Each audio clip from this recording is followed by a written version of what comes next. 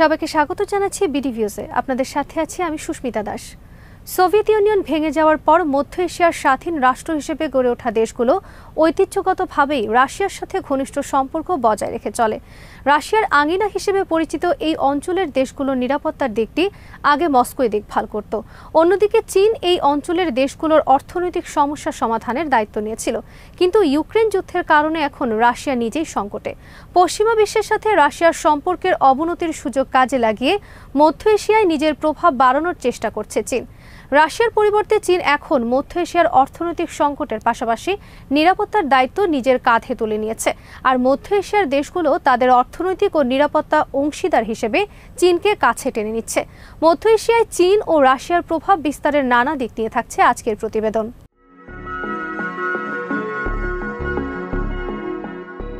আন্তর্জাতিক ভূরাজনীতিতে চীনের উত্থান বদলে দিচ্ছে পুরো বিশ্বকেই। চীন নিজেদের জাতীয় স্বার্থ নিশ্চিত করতে কূটনৈতিক, অর্থনৈতিক এবং নিরাপত্তা বিষয়ক হাতিয়ারকে ব্যবহার করছে। আর এটা করা হচ্ছে তাদের স্বার্থ সংশ্লিষ্ট দেশগুলোর সাথে সহযোগিতামূলক সম্পর্ককে গভীর করতে। যেসব দেশ স্বেচ্ছায় চীনকে ভূকৌশলগত সুবিধা দিতে পারবে, তাদের সঙ্গে প্রাথমিকভাবে যুক্ত হয়েছে বেইজিং। আর সেক্ষেত্রে মধ্য এশিয়াকে অন্যতম এলাকা হিসাবে টার্গেট করেছে চীন। এই অঞ্চলে চীনের প্রভাব বাড়ছে নীরবেই।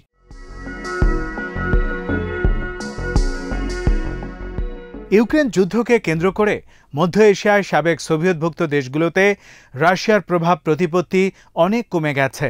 আর সেই শূন্যস্থান পূরণে এসব দেশের সঙ্গে স্থায়ী বন্ধুত্ব গড়তে আগ্রহী হয়ে উঠছে চীন।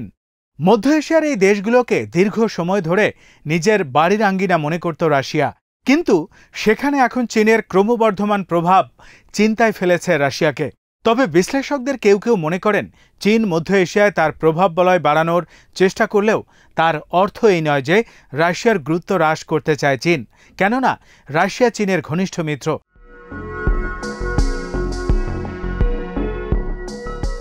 গত বছর ইউক্রেন যুদ্ধ শুরুর কয়েকদিন আগে চীন এবং রাশিয়া তাদের সীমাহীন বন্ধুত্বের ঘোষণা দেয়। তাই অনেক বিশ্লেষকের ধারণা, চীন এমন কিছু করবে না যাতে রাশিয়ার স্বার্থে আঘাত আসবে।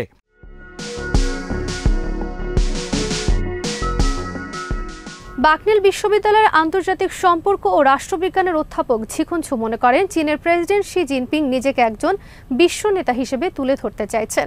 তিনি নিজ দেশের সীমান্ত পেরিয়ে সারা বিশ্বে চীনের প্রভাব বিস্তার করতে চান।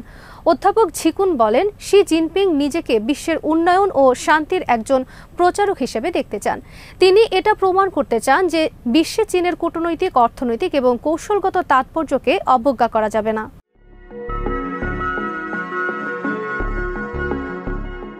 চীনের প্রেসিডেন্ট শি জিনপিং দু হাজার তেরো সালের সেপ্টেম্বর মাসে মধ্য এশিয়া সফরকালে কাজাখস্তানের নজরবায়েব বিশ্ববিদ্যালয়ে সেপ্টেম্বরে দেয়া এক ভাষণে ওয়ান বেল্ট, ওয়ান রোডের ধারণা তুলে ধরেন।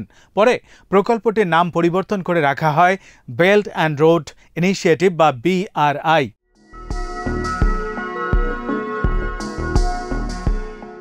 দুই হাজার বছর আগে চীনের জিয়ান প্রদেশ থেকে ভূমধ্য সাগর পর্যন্ত যে বাণিজ্যিক পথ গড়ে উঠেছিল, মূলত এটি তার আধুনিক সংস্করণ। তখন এই পথটি পরিচিত ছিল সিল্ক রোড বা রেশম পথ নামে। খ্রিস্টপূর্ব প্রথম শতকে গড়ে ওঠা এই সিল্ক রোড দশম শতাব্দীতে বন্ধ হয়ে যায়। এই পথটিকে এখন আরও বড় পরিসরে নতুন করে নির্মাণ করতে চাইছেন চীনের বর্তমান প্রেসিডেন্ট শি জিনপিং।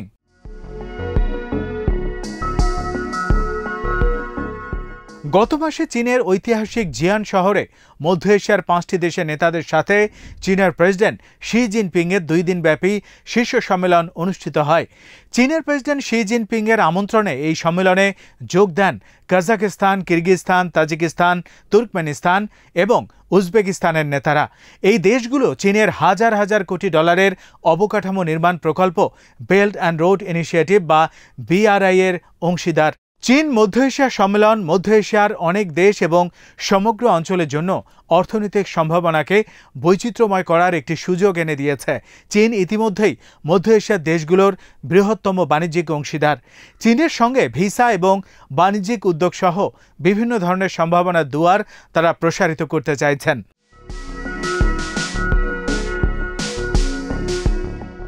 মধ্য এশিয়ার দেশগুলোর সঙ্গে প্রথমবারের মতো এমন সম্মেলনের আয়োজন করেছে চীন।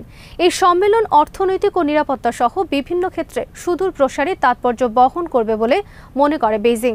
চীনের মিডিয়া মধ্য এশিয়াকে বিআরআই প্রকল্পের প্রবেশ পথ হিসেবে উল্লেখ করে থাকে। আর বর্তমানে এই অঞ্চলের দেশগুলোর ঋণের প্রধান উৎসই হচ্ছে চীন। কিরগিজস্তান ও তাজকিস্তানে চীন যে পরিমাণে ঋণ দিয়েছে, তা দেশ দুটির মোট জিডিপির এক পঞ্চমাংশের কিছু বেশি।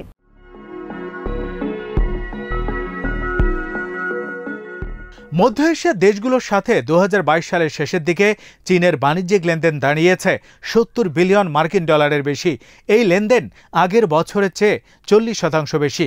উজবেকিস্তান কিরগিস্তান ও তুর্কমেনিস্তানের বৃহত্তম এবং কাজাকিস্তানের দ্বিতীয় বৃহত্তম বাণিজ্যিক অংশীদার হচ্ছে চীন। এছাড়া তাজিকিস্তানের সাথেও চীনের বাণিজ্যিক সম্পর্ক একেবারে কম নয়। চীন দেশটির তৃতীয় বৃহত্তম বাণিজ্যিক অংশীদার।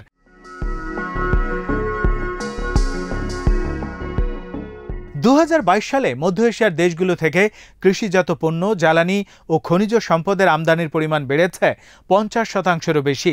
অন্যদিকে এসব দেশে চীনের প্রকৌশল ও ইলেকট্রনিক পণ্যের রপ্তানি বেড়েছে বিয়াল্লিশ শতাংশের বেশি। চীনের পিপলস ডেইলি পত্রিকার এক প্রতিবেদন থেকে এই পরিসংখ্যান বেরিয়ে এসেছে। এতে বলা হয়েছে দু হাজার বাইশ সালে মধ্য এশিয়ার দেশগুলোতে চীনের সরাসরি বৈদেশিক বিনিয়োগের পরিমাণ পনেরো বিলিয়ন ডলারে পৌঁছেছে। দুহাজার একুশ সালে তথ্য অনুযায়ী মধ্য এশিয়ার দেশগুলোতে ব্যবসা বাণিজ্য করছে চীনের সাত হাজার সাতশো কোম্পানি।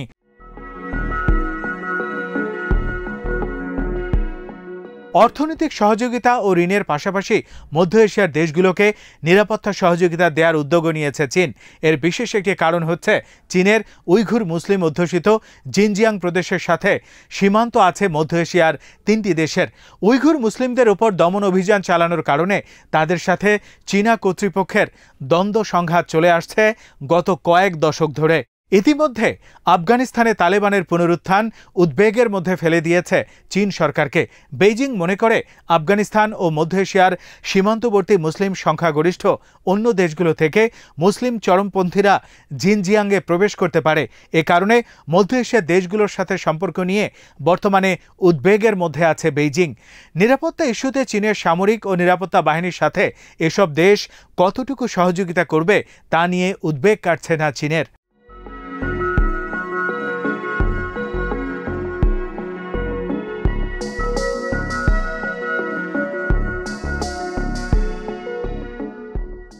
আগামী দিনে চীনের সাথে মধ্য এশিয়ার দেশগুলোর সহযোগিতা সংক্রান্ত যে কোনো চুক্তিতে চীনের এই নিরাপত্তা উদ্বেগের বিষয়টি উঠে আসতে পারে বলে মনে করেন বিশ্লেষকরা। বিশেষ করে বিআরআই এবং সাংহাই কর্পোরেশনের অর্গানাইজেশন বা এসসিও এর সাথে সংশ্লিষ্ট যে কোনো চুক্তিতে নিরাপত্তা উদ্বেগের প্রসঙ্গটি উঠে আসতে পারে। ইউক্রেন যুদ্ধ নিয়ে রাশিয়া ব্যস্ত থাকার কারণে প্রেসিডেন্ট ভ্লাদিমির পুতিনের পক্ষে এই মুহূর্তে চীনের এই উদ্বেগ নিয়ে মাথা ঘামানো সম্ভব হবে না, বরং মধ্য এশিয়া থেকে রাশিয়ার প্রভাব দিন দিন কমছে।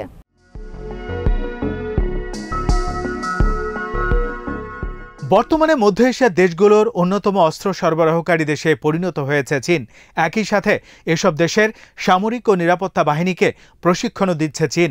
এছাড়া এসব দেশের সাথে যৌথ সামরিক মহড়াও অংশ নিচ্ছে।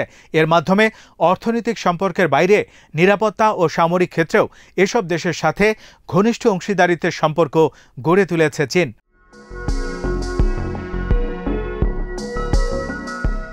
উইলসন ইন্টারন্যাশনাল সেন্টারের কেনান রিসার্চ ইনস্টিটিউটের তথ্য অনুযায়ী দু হাজার দশ থেকে দু হাজার চোদ্দ সালের মধ্যে মধ্য এশিয়ার দেশগুলোতে চীনের সমরাস্ত্র ও সামরিক সরঞ্জামের রপ্তানির পরিমাণ ছিল এক দশমিক পাঁচ শতাংশ। কিন্তু দু হাজার বিশ সালে এসে তা বেড়ে দাঁড়ায় আঠারো শতাংশে।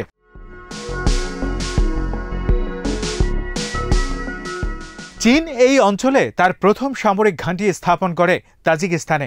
দেশটির সাথে চীনের দুশো পঁচানব্বই মাইল দীর্ঘ সীমান্ত রয়েছে। দু হাজার উনিশ সালে ওয়াশিংটন পোস্টের এক প্রতিবেদনে বলা হয়, আফগানিস্তান সীমান্তের বিপরীতে তাজিকিস্তানের ভূখণ্ডে বেশ কিছু সীমান্ত ফাঁড়ি নির্মাণ করেছে চীন।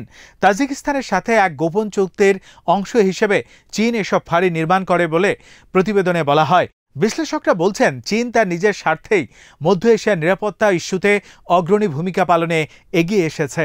অন্যদিকে, মধ্য এশিয়ার দেশগুলো তাদের পুরনো মিত্র রাশিয়ার পাশাপাশি নতুন মিত্র বাড়াতে চীনের সাথে ঘনিষ্ঠ সম্পর্ক গড়ে তুলেছে।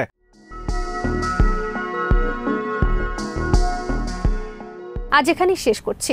সমরাস্ত্র প্রতিরক্ষা কূটনীতির নানা তথ্য জানতে চোখ রাখুন বিডিভিস ইনফোটেনমেন্টে চ্যানেলটি ভালো লাগলে সাবস্ক্রাইব করুন। সংযুক্ত থাকুন আমাদের ফেসবুক পেজে